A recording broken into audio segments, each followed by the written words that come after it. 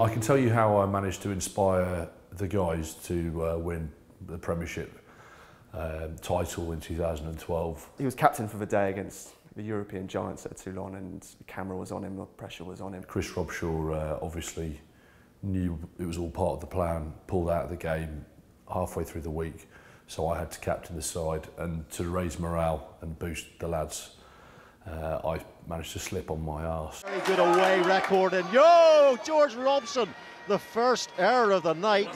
Very slippery on those. I was actually at home watching it on TV, and he slips over. He's ready to come out and lead the boys out. Genuinely the funniest thing I've seen as a rugby player. Um, myself and George Lowe were on the bench that day, and we honestly couldn't stop laughing for a good 10, 12 minutes. Comes out of the changing rooms looking all tough and then he absolutely stacks it on the marble floor at the Toulon ground. He was like Bambi on ice coming out of the changing room and took a fall. first game as captain and he's done that. It was, was brilliant. Subsequently spent the rest of the year getting an absolute peppering from everybody. Uh, just, just, just constant abuse about it. We had t-shirts made up and everything with his fall. he came out and just stacked it. I have to take full credit for spurring us on to then go on to win the Premiership title. So I'm sure without that, the morale wouldn't have been anywhere near where it needed to be with us winning every week. You have some hilarious moments when you think back on what he did and uh, like to actually see him go into the middle of a bath huddle before a line out. Um, to discuss their call with them. I mean, he must have been one of the most annoying people to go on a pitch and they're all looking around and going, what is he doing in with us? but that's what he did. He just got in their face all the time and he loved it. He loved them people telling him to go and take a jump. When there's a big fight kicking off, he's, he's in the camera with his finger. I think he dislocated and he's pointing like that.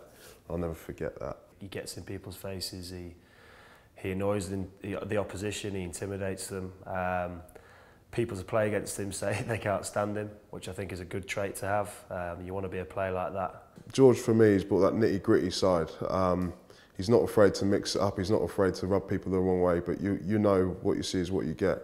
He'll always give you his best. In the best and the worst possible way, I think he's the biggest nose you'll ever meet. He'd nosed off the uh, opposition to the point where they wanted to kill him. He's the biggest nose in the world, and I mean that in the nicest way possible because you need to have those guys on your side. Yeah, he's a character in his own right, certainly not nausea amongst the fellas. He used to win an award every year at our end of season social, um, and it was the very last award of the, you know, the court session, if you like. I will not um, divulge what that award is. He can tell any fans or whoever's watching this what it is, and he won it outright every single year. His preparation, uh, as I said, uh, you know, his, his meticulous going over of lineouts, uh, making sure that everyone knows their job, making sure everyone's uh, knows what the calls are. Unbelievably detailed professionalism and um, and preparation. I think he'll go down as one of the one of the great, you know, second rowers that played for this club. He has not just competed, but excelled. He brought intelligence to a game. He was never the biggest, he was never the strongest, he was never the fastest, but he thought the fastest. He's carved out a very, very successful career in the second row, and long may it continue. Obviously, in France, where you know they treasure the sort of front five battles, and I think he'll enjoy it there as well. I think his missus dresses him, but uh, he's always one for designer clothes. He's always quite smart, suave, sophisticated.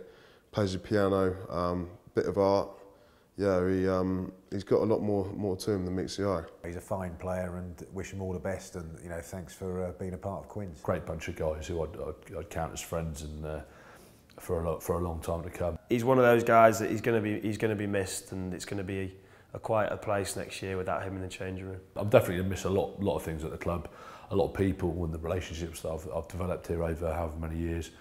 And uh, obviously John Kingston, there's a fond place in my heart for you if you're watching. Uh, and really miss you, mate. He did offer a lot um, for Quins at his time, and I'm sure he'll offer a lot to Oyonnax um, out in France, and, and they'll love him. It's been a fantastic uh, 10 years and, and enjoyed every minute of it.